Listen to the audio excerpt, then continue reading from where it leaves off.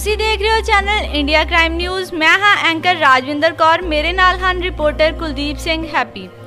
ਅੱਜ ਜੋ ਖਬਰ ਨਸ਼ਰ ਕਰਨ ਜਾ ਰਹੇ ਹਾਂ, ਉਹ ਇਸ ਪ੍ਰਕਾਰ ਹੈ ਕਿ ਪਨਬਸ ਅਤੇ ਪੀਆਰਟੀਸੀ ਦੇ ਕੱਚੇ ਮੁਲਾਜ਼ਮਾਂ ਵੱਲੋਂ ਸਰਕਾਰ ਦੇ 8 ਦਿਨ ਦੇ ਦਿੱਤੇ ਸਮੇਂ ਤੋਂ ਬਾਅਦ ਅੱਜ 9ਵੇਂ ਦਿਨ ਬੱਸ ਅੱਡਿਆਂ ਨੂੰ 2 ਘੰਟੇ ਲਈ ਬੰਦ ਕਰਕੇ ਆਪਣੀਆਂ ਮੰਗਾਂ ਨੂੰ ਲੈ ਕੇ ਪੰਜਾਬ ਸਰਕਾਰ ਦੇ ਖਿਲਾਫ ਰੋਸ ਪ੍ਰਦਰਸ਼ਨ ਕੀਤਾ ਗਿਆ।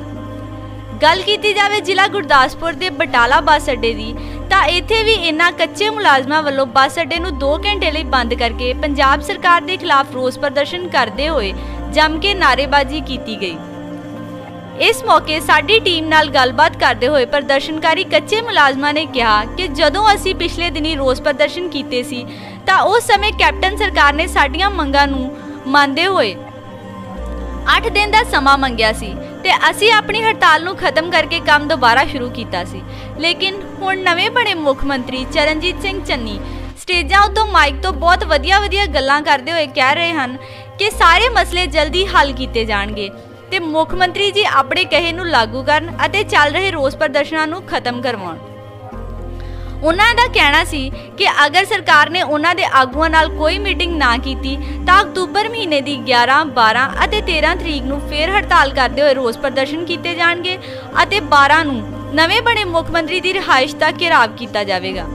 ਅਤੇ ਉਦੋਂ ਤੱਕ ਹੜਤਾਲ ਕੀਤੀ ਜਾਵੇਗੀ ਜਦੋਂ ਤੱਕ ਸਾਡੀਆਂ ਮੰਗਾਂ ਨਹੀਂ ਮੰਨੀਆਂ ਜਾਂਦੀਆਂ। ਹੁਣ ਦੇਖਣਾ ਹੋਵੇਗਾ ਕਿ ਕੌਣ ਅਤੇ ਕਦੋਂ ਘਿਰਨਗੇ ਨਵੇਂ ਮੁੱਖ ਮੰਤਰੀ ਦੀ ਰਿਹਾਇਸ਼।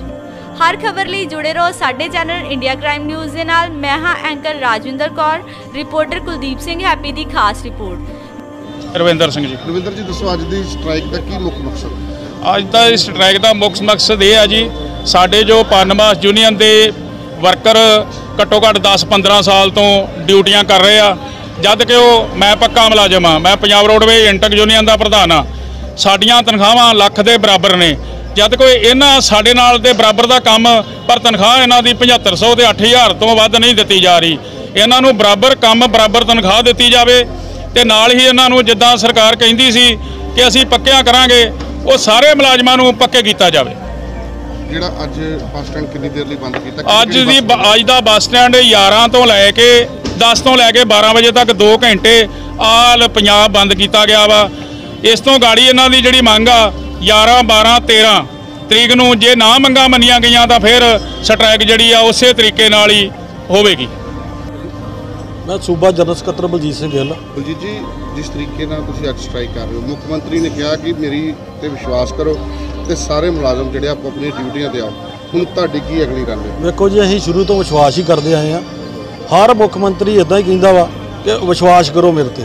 ਪਰ ਗੱਲ ਇਦਾਂ ਵਾ ਕਿ ਅਸੀਂ 15 ਸਾਲ ਹੋ ਗਏ ਸਾਨੂੰ। ਮਤਲਬ ਰੈਗੂਲਰ ਭਰਤੀ ਮੈਂ ਗਈ ਕੀਤੀ ਸੀ ਇਹਨਾਂ ਨੇ।